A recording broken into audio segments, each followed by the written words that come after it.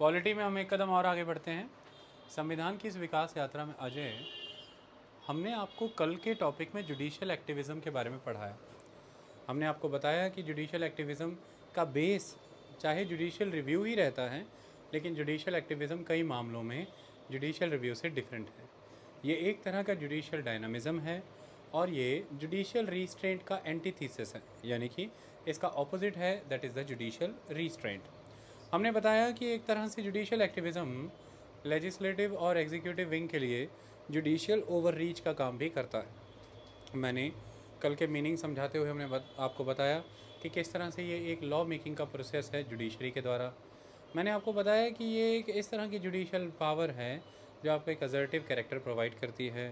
मैंने आपको बताया कि एक तरह का जुडिशियल सिस्टम आप इस्टेब्लिश करते हैं। ये एक ऐसी जुडिशियल पॉलिसी होती है जिसके तहत आप ऑलरेडी इस्टेब्लिश जो नॉर्म्स हैं प्रेसिडेंस हैं, उनसे डिपार्ट करते हैं और एक नए स्टैंड पर डिसीज़न लेते हैं। हमने कल उदाहरणों के तहत इसको अच्छे से समझने का प्रयास किया। आज हम उसी पे आगे बढ़ने जा रहे हैं। दो पॉइंट कल के उस मीनिंग वाले सेक्शन से रह गए थे, वो मैं आज बता देता हूँ, फिर हम आगे बढ़ जाएँगे। पहला पॉइंट जो रह गया था वो ये था कि जुडिशियल डिसीज़न मेकिंग देखिए जुडिशल एक्टिविज़म एक इस तरह का प्रोसेस है, जिसे आप जुडिशियरी के लेवल पर डिसीज़न मेकिंग कह सकते हैं।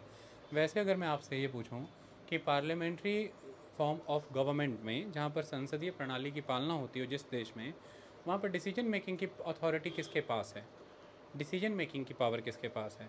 अगर ध्यान से देखें तो डिसीज़न मेकिंग की पावर कैबिनेट के पास होती है। डिसीज़न टेकिंग पावर किसके पास है? कैबिनेट के पास है। कैबिनेट है जो देश के लिए निर्णय लेता है। आपने नोटिस किया होगा कैबिनेट ने इस प्रस्ताव को पास किया। कैबिनेट ने इस प्रस्ताव को सहमति जताई। फिर उन प्रस्तावों पर कानून बनने के लिए आप उसे लेजिस्लेचर में भेजते हैं और उस पर जब लॉ बन जाता है तो कैबिनेट का वो डिसीज़न लेजिटिमेट हो जाता है और कंट्री के लेवल पर एग्जीक्यूट हो जाता है। इसलिए कैबिनेट को एग्जीक्यूटिव भी कहते हैं, यानी कि सरकार कहते हैं। तो मुद्दा ये है कि डिसीज़न मेकिंग का काम यहाँ पर अब कैबिनेट नहीं कर रहा है, सरकार नहीं कर रही है डिसीज़न मेकिंग का काम यहाँ पर न्यायालय कर रहा है जुडिशरी कर रही है। तो जुडिशल डिसीज़न मेकिंग कहते हैं जब हम जुडिशल एक्टिविज़म की बात करते हैं ओके यानी कि कैसे होता है डिसीज़न मेकिंग जुडिशरी का काम है कि इन तथ्यों को स्थापित करना कि भाई किसी ने किसी तरह का क्राइम किया है या नहीं किया है। कोई गुनहगार है या बेकसूर है? जुडिशरी के सामने ये इस्टेब्लिश होता है और जुडिशरी उन एविडेंसेस के बेसिस पर उन सभी के सभी सबूतों, गुना बयानों इनके आधार पर अपना निर्णय दे देती है। यहाँ पर भी जुडिशरी की कोई डिसीज़न मेकिंग नहीं होती। जुडिशरी यहाँ पर एक वर्डिक्ट प्रोवाइड करती है, जो पूरी तरह से एविडेंसेस पर बेस्ड होता है। इसके बाद अगर हम बात करें तो जुडिशरी का काम है जुडिशल रिव्यू करना, जिसके बेसिस पे वो एक फ़िक्स्ड फॉर्मेट है, जिसके आधार पर वो ये टेस्ट कर लेती है कि कोई भी लॉ जो है, वो अल्ट्रा वायरस है या नहीं है। अगला काम जुडिशरी का ये है कि वो आपके राइट्स को प्रोटेक्ट करती है गारंटी करती है। लेकिन इन मामलों में जुडिशरी डिसीज़न मेकिंग नहीं कर रही है। लेकिन एक्टिविज़म का केस अगर हम देखें तो जुडिशियल एक्टिविज़म के केस में जुडिशरी डिसीज़न मेकिंग करती पाई गई। यानी कि जैसे ही आप डिसीज़न मेकिंग की बात करते हैं तो मतलब आप अपने पर्सनल व्यूज़ को एक स्पेस देते हैं। सब्जेक्टिविटी एंटर कर जाती है। जुडिशरी जब अदर मामलों में काम करते हुए डिसीजंस देती है डिसीजंस वहाँ पर जजमेंट्स हैं डिक्री हैं, वो एक तरह के वर्डिक्ट्स हैं। तो जजमेंट और डिसीज़न मेकिंग में अंतर होता है। जजमेंट एक तरह से आपका, जजमेंट इस बात पर आया कि आपके सामने एक सिचुएशन रखी गई। उस सिचुएशन के सपोर्ट में और उसके अपोजिशन में एविडेंसेस प्रेजेंट किए गए और आपने ये जज किया कि जो एविडेंसेस थे, वो ऑथेंटिक थे या नहीं थे और उनके बेसिस पर जो कंक्लूजन निकला वो क्या है। तो दैट इज़ द जजमेंट लेकिन यहाँ पर है डिसीज़न मेकिंग तो इसमें डिसीज़न मेकिंग में आपके पर्सनल व्यूज़ एंटर करते हैं। जहाँ जजमेंट ऑब्जेक्टिव होती हैं वहीं पर डिसीज़न मेकिंग काफ़ी हद तक सब्जेक्टिव कैरेक्टर की होती है। तो इसलिए कहा जाता है कि एक तरह का जुडिशियल डिसीज़न मेकिंग प्रोसेस है। इसमें जजल जजेस के पर्सनल व्यूज़ कंसिडर हो जाते हैं और वो पर्सनल व्यूज़ हैं जो जजेस के डिसीजंस को गाइड करते हैं। जजेस को ऐसा लगता है कि राइट टू लाइफ के तहत ये ज़रूरी है कि किसी को स्वच्छ पर्यावरण भी मिले। ऐसा हो सकता है उस जज की अपनी निजी सोच हो और उस अपनी निजी सोच को जज ने अपने निर्णय का आधार बनाया। निर्णय यह है कि जीवन के अधिकार के साथ यह अधिकार भी आना ज़रूरी है कि आपको स्वच्छ पर्यावरण मिलेगा। ये निर्णय है। ये हुआ डिसीज़न आपने ये डिसीज़न दे दिया। लेकिन इस निर्णय का आधार क्या है? कि आपको लगता है कि जीवन के अधिकार के लिए स्वच्छ पर्यावरण का अधिकार भी अनिवार्य है। ऐसा आपको लग रहा है। अब जुडिशरी कहती है कि हम ये इसलिए कर पाते हैं क्योंकि कॉन्स्टिट्यूशन हमें ऐसी मैंडेट देता है, वो कैसे कॉन्स्टिट्यूशन के अंदर दिए हुए जितने भी वर्ड हैं, अब यहाँ पर इसे समझना होगा। उसका फाइनल इंटरप्रेटर कौन है? सुप्रीम कोर्ट जुडिशरी और उसे इंटरप्रेट करने के लिए जुडिशरी को क्या कहा गया है? कि आपको कॉन्स्टिट्यूएंट असेंबली की डिबेट्स को रेफ़र करना है। आपको प्रियम्बल को रेफ़र करना है। कॉन्स्टिट्यूएंट असेंबली की डिबेट्स और प्रियम्बल के कंसेप्ट जो हैं, वो कॉन्स्टिट्यूशन मेकर्स के दिमाग का दरवाज़ा है। आप उनके दिमाग तक जा सकते हैं कि उन्होंने जो शब्द, जो प्रावधान तब डाला तो वो क्यों डाला? ऐसा जुडिशरी के ऊपर ये ज़िम्मेदारी डाली गई है। तो जुडिशरी कहती है, जब हम कॉन्स्टिट्यूशन के प्रोविजंस को देखते हैं तो उसको जब हम अंडरस्टैंड करते हैं तो उसमें जब ये बात आती है कि हमें लिबर्टी इक्वलिटी फ्रेटर्निटी देनी है और हमें जब जस्टिस देना है सोशल इकोनॉमिक पॉलिटिकल तो उसमें अगर हम सोशल जस्टिस की बात करते हैं तो सोशल जस्टिस में ये महत्वपूर्ण है कि समाज में जीवन का एक अधिकार है आपके पास, जिसे कोई ले नहीं सकता except the procedure established by law इस जीवन के अधिकार को सुनिश्चित करने के लिए इससे जुड़े बाकी भी अधिकार आपको देने पड़ेंगे, जैसे कि स्वच्छ पर्यावरण का अधिकार। तो ये प्रियम्बल की ही संकल्प है कि जस्टिस देना है, न्याय देना है सामाजिक, आर्थिक, राजनीतिक। तो हम ये सामाजिक न्याय ही दे रहे हैं कि आपको जीवन का एक अधिकार है। तो ये प्रियम्बल ने हमें कहा है तो हम इसलिए स्वच्छ पर्यावरण की बात कह रहे हैं। तो इस तरह से जुडिशरी तो ये कहती है कि हमने कोई एक्टिविज़म नहीं किया। हमने तो वही रोल फुलफ़िल किया जो कॉन्स्टिट्यूशन ने हमें अकॉर्ड किया है। लेकिन लेजिस्लेचर और एग्जीक्यूटिव का ऐसा मानना है कि आप डिसीज़न मेकिंग का काम कर रहे हैं, वो तो कैबिनेट का काम था। वो तो एग्जीक्यूटिव का रोल है और जुडिशरी एग्जीक्यूटिव का रोल इनक्रोच कर रही है। क्योंकि देश के लिए क्या फैसले होंगे, ये तो देश के जनता द्वारा चुनी सरकार ही तय करेगी। आपने स्वच्छ पर्यावरण की बात कर दी, उसके लिए कई तरह के अब नॉर्म्स बनेंगे, उन नॉर्म्स की पालना करनी है। तो कई सारे वाहन अब सड़कों से चले जाएँगे। अब रूल आ जाएगा कि डीज़ल वाहन पंद्रह बरस से ज़्यादा नहीं चल सकते दस बरस से ज़्यादा नहीं चलेंगे दिल्ली में और पेट्रोल के वाहन पंद्रह बरस से ज़्यादा नहीं चलेंगे। और कितनी सारी टैक्सी की ऐसी गाड़ियाँ थी, डीजल वाहन थे, जो इस एक सिंगल डिसीज़न के साथ रातों रात ही एक्सपायर हो गए और डिसक्वालीफाई हो गए सड़कों पे चलने के लिए। उन सबका रोज़गार दाव पे लग गया था उस समय और उन सबने आपने देखा था सड़कों पर कैसा भौकाल मचा दिया था। रातों रात, क्योंकि कईयों ने अपने गहने घर बार गिरवी रख। किसी से सेकेंड हैंड स्कॉर्पियो किसी से सेकेंड हैंड इनोवा लिया था, जो ऑलरेडी नौ नौ, साढ़े नौ नौ साल चल चुकी थी, क्योंकि ये गाड़ियाँ ख़त्म तो होती नहीं हैं। और उनको था कि इन्हें पाँच छः साल हम अभी और चलाएँगे और अपना पैसा वसूलेंगे। तो सरकार कहती है कि देश की जनता के रोज़गार के लिए जुडिशरी जवाबदेह नहीं है, हम जवाबदेह हैं। जब संसद में प्रश्न रोज़गार का किया जाएगा जुडिशरी से नहीं किया जाएगा, हमसे किया जाएगा। जब हम वोट मांगने जाते हैं जनता के बीच तो जुडिशरी वोट मांगने नहीं जाती। तो जुडिशरी का एवरी फाइव ईयर टेस्ट नहीं होता है लोकतंत्र में, वो हमारा होता है। जब हम वोट मांगने जाएँगे तो जनता हमसे सवाल करेगी।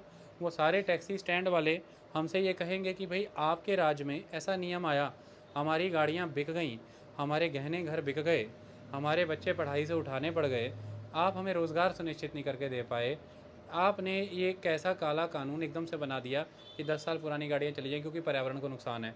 आपने किसानों को खुंटी जलाने से क्यों नहीं रोका? आपने उन्हें स्टबल बर्न करने से क्यों नहीं रोका? आपने अपने बड़े बड़े कोयले के कारखाने बंद क्यों नहीं किए? आपने अपने बड़े बड़े पावर हाउसेस जो कि कोयले से चलते हैं, उनको बंद क्यों नहीं किया?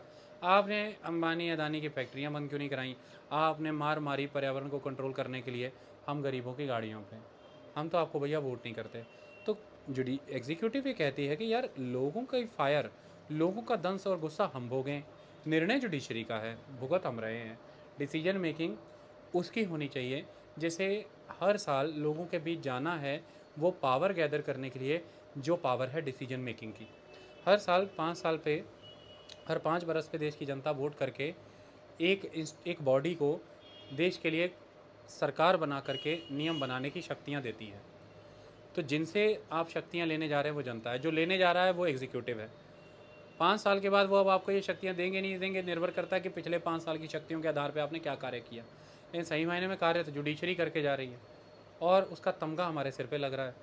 इसलिए चिल्लाते हैं एग्जीक्यूटिव और लेजिस्लेचर वाले कि please don't do decision makings you are here to pass judgements you are here to provide decrees you are here to give verdicts why you are doing decision making process? It is with the cabinet it is with the executive. And the law making process is vested with the legislature. You are here to check the validity of the laws for mm, uh, prepared by the legislature. We being executive is here to do the decision making for the country. And you are in the independent capacity is here to do the verdict judgment and guard the constitutions or to protect the fundamental rights of the citizens. Simple rules. Rules are there. Why are you doing this? But है क्योंकि subjectivity है, क्योंकि प्रेसिडेंसेस constitutional mandates laws की डिमार्केशंस के से depart होके आपको लग रहा है कि पर्यावरण स्वच्छ चाहिए, आप वो दे रहे हैं। जैसे कुछ लोगों ने पीआईएल अप्लाई किया कि हमारी कॉलोनी के पास एक फैक्ट्री लगी है, जिसके केमिकल्स हमारी कॉलोनी के पास एक नहर में आकर के गिर रहे हैं जिससे हमारे नहर का पानी गंदा हो रहा है। अब जुडिशरी में वो पीआईएल लगाया गया और जुडिशरी ने निर्णय लेते हुए वो फैक्ट्रीज़ उस इलाके से बंद करने को कह दिया, वो फैक्ट्रीज़ उठा दी गई। अब देखिए, जिनकी वो फैक्ट्रीज़ थी, वो लोग, जो लोग वहाँ पर रोज़गार पे लगे थे, वो और उनके परिवार, बच्चे, सारे लोग, और वो फैक्ट्रीज़ में जो लोग रॉ मटेरियल प्रोवाइड करते थे और वो फैक्ट्री से जो प्रोडक्ट बनता था, वो जिन रिटेल शॉप्स में बिकता था एक पूरा का पूरा लाइवलीहुड का, पूरा का पूरा इकोनॉमी का सोसाइटी का तंत्र उस फैक्ट्री से जुड़ा है। अब एग्जीक्यूटिव ये कहती है कि जब हमें इस कंपनी को कहीं और डिसलोकेट करना था तो हम वेल प्लानिंग से चलते। हम पहले इसके लिए कोई और फोकल पॉइंट एरियाज़ या कोई अदर लोकेशंस डिमार्केट करते, वहाँ पर सारा सिस्टम ऑफ़ डिस्पोजल प्रिपेयर करते, फिर इसको शिफ्ट करते और ये ग्रेजुअल होता। हम लोगों की जॉब भी सेव करते बट आपने रातों रात फरमान जारी कर दिया, जैसे ताजमहल पीला हो रहा है तो आसपास की सभी फैक्ट्रियाँ वहाँ पर बंद कर दी जाएँगी। आपका ये निर्णय है और इसके लिए हमें कईयों का कोप का भाजन बनना पड़ा। और हमें फिर उसकी उसको आ, अमल में लाने के लिए उसकी तामील करने के लिए कई बंदोबस्त करने पड़ गए। तो don't do decision making please ये हमें करने दीजिए। हमारा काम है लेकिन जुडिशरी कहती है कि मेरी मेरा राइट है मेरा अधिकार है कि मैं समाज को ज़्यादा से ज़्यादा जस्टिस प्रोवाइड करूँ। और वहाँ पर अगर जल दूषित हो रहा है तो जल में रहने वाले जीव और आसपास के लोगों का जीवन यापन वहाँ पर मुश्किल हो रखा है। इसकी वजह से फैक्ट्री बंद अगर करनी पड़ जाए तो कोई दिक्कत की बात नहीं है। या आपकी समस्या थी कि आपने रेजिडेंशियल एरिया के पास नहर से गुजर, नहर, गुजर रही नहर में केमिकल्स फेंकने की अनुमति कैसे दी? आपके एनवायरनमेंट इम्पैक्ट असेसमेंट में कमी रही। आपके ऑफिसर्स जो इंस्पेक्शन पे वहाँ जाने चाहिए, वो रेगुलर नहीं जा रहे थे। और वो जो कंपनी है, जैसे वेस्ट मैनेजमेंट करना चाहिए था, वो नहीं कर रही है। आपके करप्शन के रीजंस की वजह से रेजिडेंट परेशान नहीं हो सकते। मैंने उन्हें निजात देने के लिए ये किया। जुडिशरी अपनी जगह पे सही होती है। बट गेम तो हो जाती है। दैट इज़ आस्पेक्ट कि एक तरह से जो डिसीजंस है जुडिशरी के जजेस के पर्सनल व्यूज़ से गाइडेड होते हैं बाकी चीज़ों से तो होते हैं पर्सनल व्यूज़ से गाइडेड होते हैं। इसे जुडिशल डिसीज़न मेकिंग प्रोसेस के तहत काउंट किया गया है। आई बात समझ में? अगला है ये जुडिश जुडिशल एक्टिविज्म एक ऐसा प्रोसेस है जो क्या करता है? It is a procedure to evolve new principles concepts, maxims, maxims, formula and to provide relief क्या करना है? आपने स्टैंडिंग को एक्सपेंड करना है। You have to expand the standing standing का मतलब यह है कि जस्टिस को लार्जर एक्सटेंट तक पहुंचाना है लार्जर सेक्शन तक लेकर के जाना है। इसी के लिए आप स्टैंडिंग को इंक्रीज़ कर रहे हैं। यहाँ पर स्टैंडिंग का क्या पर्पज़ होता है, मैं आपको बताता हूँ। देखिए स्टैंडिंग वर्ड को समझिए लॉ की भाषा में। एक वर्ड आगे जाके लोकस स्टैंडाई भी आएगा, वो इसी के साथ जुड़ा होगा। समझिए। देखिए, आपके पास कंट्री में आर्टिकल चौदह कहता है कि इक्वलिटी बिफोर लॉ है। इसके दो मायने निकलते हैं बेटे। अनरीत, दो मायने क्या निकलते हैं? पहला मायना इसका क्या है? कानून की नज़रों में। You all are equal before the law and second सभी को समान संरक्षण भी है कानून का। इक्वल प्रोटेक्शन ऑफ़ लॉ भी है और आप सब लॉ के सामने इक्वल भी हैं। सभी कानून की नज़र में समान हैं और सभी को कानून का समान संरक्षण भी प्राप्त है। ये दोनों बातें आती हैं हमारे इक्वलिटी बिफोर लॉ के मामले में। अब वो ये कह रहे हैं कानून की नज़र में सभी समान हैं। इसके तहत आप कानून के दरवाजे खटखटा सकते हैं जब भी आपको कोई समस्या है उसके ग्राउंड्स बताए गए हैं। यानी कि कानून के दरवाज़ा, दरवाजे खटखटाने के लिए आपके पास कोई स्टैंडिंग होनी चाहिए। आप किसी बेस पे खड़े होने चाहिए। आप किसी आधार पे खड़े होने चाहिए। आपका दिल नहीं लग रहा, रातों को नींद नहीं आ रही, कानून का दरवाज़ा नहीं खटखटा सकते। ये जैसा है, मेरा दिल नहीं लगता और मेरे दिल से हमेशा आवाज़ें आती हैं कि ने मेरा दिल लुटिया, ओहो कि ने मैनू मार सुटिया। जज साहब कहेंगे you are having no standing आपके पास स्टैंडिंग नहीं है, मेरे सामने खड़े रहने की। ये कोई केस नहीं बना कि आपका दिल नहीं लग रहा, कि ने मेरा दिल लुटिया और कि मेरे मार सुटिया करके आप यहाँ आ गए हैं। It is not the case to dispense with the judicial system okay आपके दिल का मर्ज़ है। आप देखिए जाके अपनी सेटिंग करिए, वरना अपना इलाज करा के पढ़ाई में ध्यान लगाइए। ऐसा जुडिशरी कहेगी। नब्बे परसेंट युवा तो इसी बात से परेशान है। कभी आपने इन्हें कोर्ट के दरवाजे खटखटाते देखा? नहीं।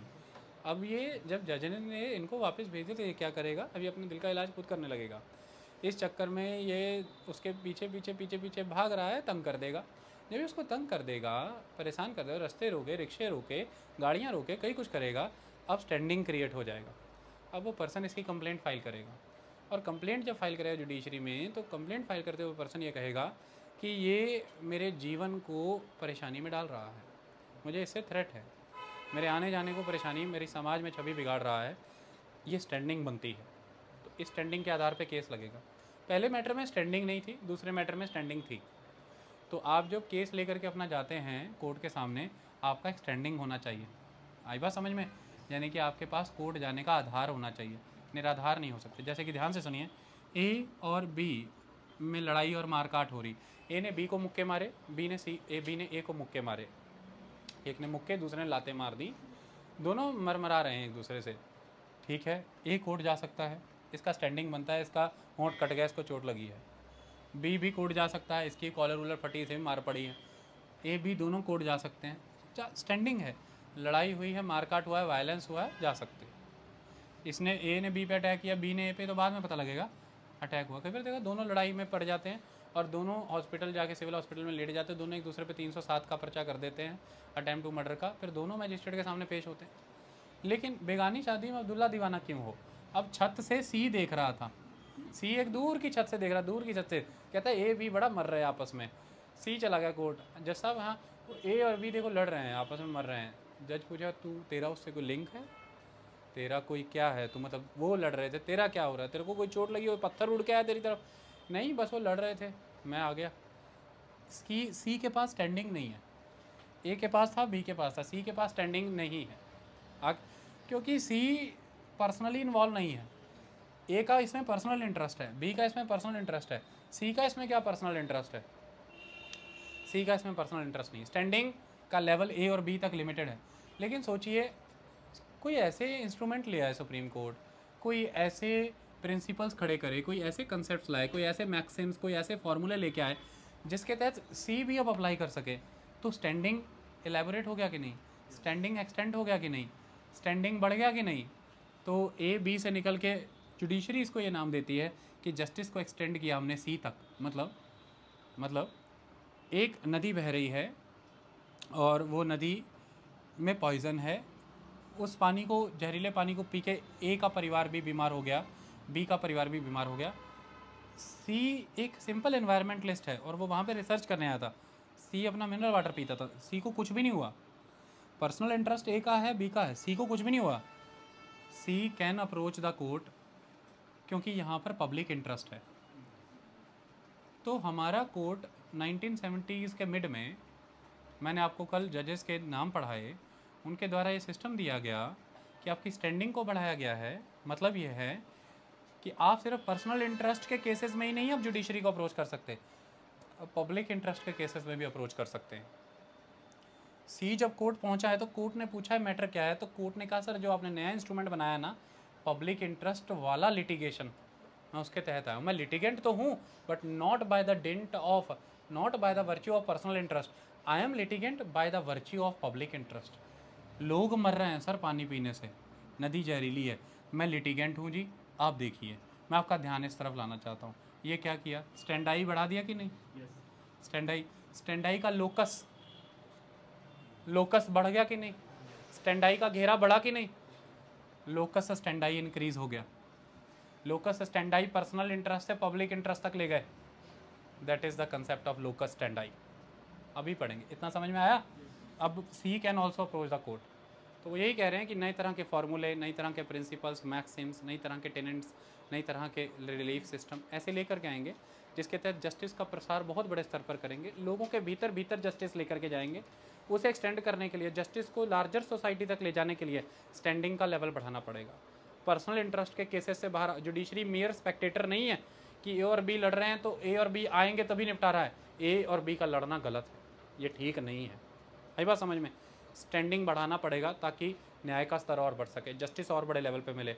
बढ़ाया ए और बी खुद परेशान थे, जहरीला पानी पी के, लेकिन पहुँचा सी है। सी ने केस लगा दिया, क्योंकि सी इंटेलिजेंट था सी पढ़ा लिखा था सी जानता था कि ए और बी की समस्या कहाँ है, कि नदी के अपस्ट्रीम में एक फैक्ट्री है जो हजार्डस केमिकल्स उसमें डाल रही है। सी ये सब जानता था।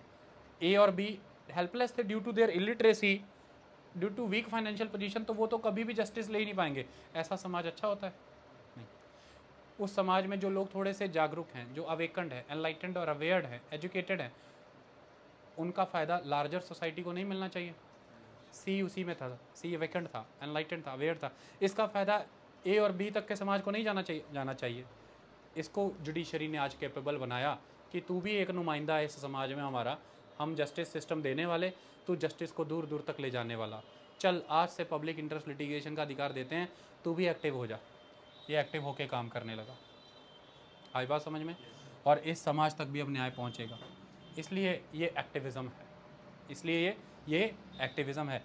ए नहीं पहुँचा बी नहीं पहुँचा। लेजिस्लेचर एग्जीक्यूटिव ने पूछा ए आया तुम्हारे पास? जुडिशरी ने बोला, नहीं। बी आया। यानी कि जुडिशरी से एग्जीक्यूटिव लेजिस्लेचर पूछ रहे हैं, पीड़ित आया तुम्हारे पास?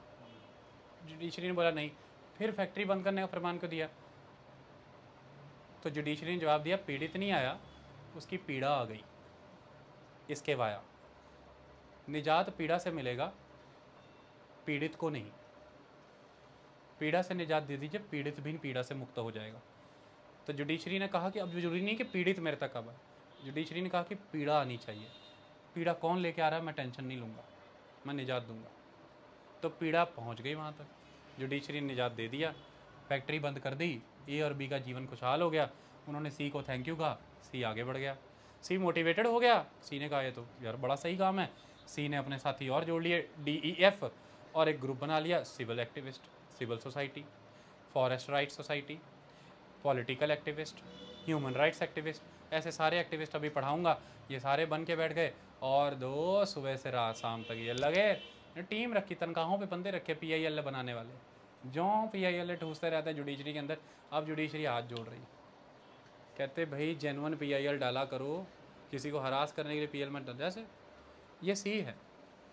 केस ये भी तो हो सकता था कि सी की भी एक वही केमिकल बनाने वाली फैक्ट्री है, जैसी फैक्ट्री इस रिवर के अपस्ट्रीम में लगी हुई है। सी का वो राइवल है एक तरह से। अब सी ने बड़े, उस फैक्ट्री को बंद कराना है, बड़ा दिमाग भिड़ाया कि ये केमिकल किस नदी में जा रहे हैं और उसके आसपास के लोगों का सीन क्या है। सी ने सोचो जेनवन स्टडी कंडक्ट करा ली हो तो ये प्रमाणित कर दिया कि भाई इस पानी, जहरीले पानी से वो लोग बीमार हो रहे हैं और उसकी फैक्ट्री बंद करा दी। हो सकता है सी का इसमें निजी लाभ हो, लेकिन सी ने उसे प्रमाणित ऐसे कर दिया कि ये जन लाभ था, जनहित था, मेरा निजी हित नहीं था। ऐसे बहुत से फ्रॉडलेंट केसेस अब आ रहे हैं, जिसमें पीआईएल के महा, महाने राइवल्स, अपने राइवल्स को ख़त्म करने के लिए उन पी को लगा लगा कर उनकी कंपनी और उनका ट्रेड कमर्स बंद करा रहे हैं। जुडिशरी ऐसे फेक और फ्रॉडलेंट केसेस से भी अब बच रही है और ये कह रही है कि पी से ओवर ना करें जुडिशरी को। ओके? बट अभी तो हम बात कर रहे हैं कि इसकी। तो अब एक सवाल निकल के आया कि public interest litigation is the outcome of the judicial activism so public interest litigation is the most popular and the most important manifestation of that judicial activism अगर आप कहें, सर, मुझे जुडिशियल एक्टिविज्म देखना है, दिखाओ।